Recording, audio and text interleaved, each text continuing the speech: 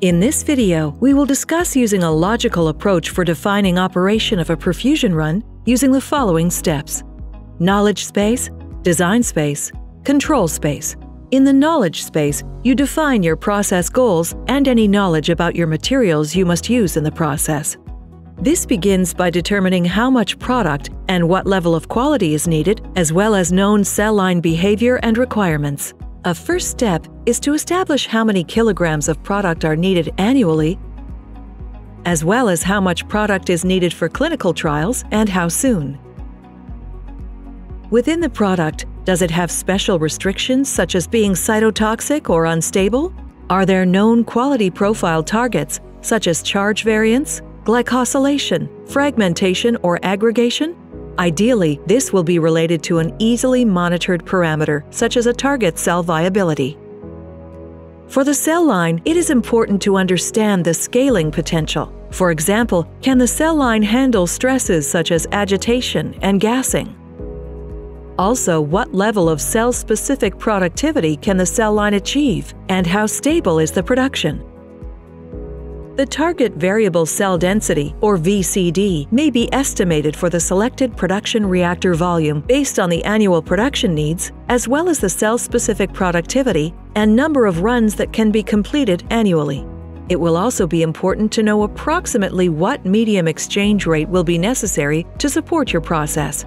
This is effectively estimated by knowing your target VCD and cell-specific perfusion rate, or CSPR. There are different methods to determine CSPR, such as iterative flask methods or a direct bioreactor method analysis of the early stage of a perfusion run, as shown in this graph. Here, the cell behavior is monitored for a sudden drop in growth rate, identifying the possible limit of medium exchange necessary to support log growth of the cell culture at the VCD where the drop occurs. This direct method analysis of the early stage of a perfusion run, in addition to providing a CSPR estimate, may shed light on expected cell line behavior such as peak VCD and productivity at high VCD. In the design space, you define necessary elements and possible operating range to support your knowledge space cell line and process goals, such as product quality and quantity. This is done by determining the best process type to match the production needs identified in the knowledge space. Once that is done, the equipment necessary to support the chosen process has to be selected. Finally, once the equipment is selected, the practical operating limits for the process can be used to build the design space. To determine the process type, first establish which process is the best fit based upon known information about the cell line, product, and facility as gleaned in the knowledge space work. For example, it may be necessary to produce an unstable product, making it beneficial to continuously remove product. If the clone being used demonstrates highly stable productivity, then this scenario would be an obvious best fit for a continuous perfusion process, barring any other considerations or restrictions. Here, either seed train approach is acceptable. However, an intensified seed train may allow the production reactor to start at a greatly improved seeding density. If there's a need to use existing equipment, such as large production reactors, a classic process type may be the best choice. However, an intensified seed train may still be a good pairing option to improve the overall process. After selecting a process type, equipment should be chosen to match the process type, the cell line needs, and the annual production output required. Select a production reactor with an operating volume based on annual production needs and expected cell line productivity established in the knowledge space. The production reactor would also have to support the process selection requirements. Perfusion requires compatibility with a cell retention device and a paired controller to meet higher gas flow rates and additional operating hurdles. The equipment operating limits for the process can now be used to outline the design space. This is frequently determined by the capabilities of the production reactor and paired controller, as they are often the most limiting factors. The practical operating range for necessary support of the process and knowledge space requirements must now be defined. Final operating volume will be constrained such that annual titer requirements are met.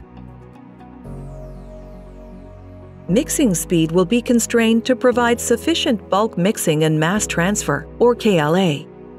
It will also need to limit the shear rate based on what the cell line can tolerate. Oxygen gas flow rate will need to be low enough to handle initial inoculation, but also support KLA at peak cell density. Taking these actions with the various operating parameters will establish the design space. For the control space, we will evaluate operating parameters from the design space by linking their effect to critical quality attributes. This confirms critical operating parameters and then allows successive optimization. First, look at the operating parameters. These may include direct items such as pH and steady state cell density, scaling items such as operating volume and mixing speed, or various other parameters. After looking at operating parameters, consider which critical quality attributes are important. These are typically oriented around the amount and quality of product generated, using attributes such as titer, glycosylation, aggregation, or charge species. Next, establish a design of experiment, or DOE, to model the effects that the suspected critical operating parameters may have on the critical quality attributes to determine their relationship. This will help you prioritize which of your operating parameters are most critical to your process model. The last step is to verify your model and then optimize it through an iterative process. Contact your sales representative or get more information at thermofisher.com/perfusion.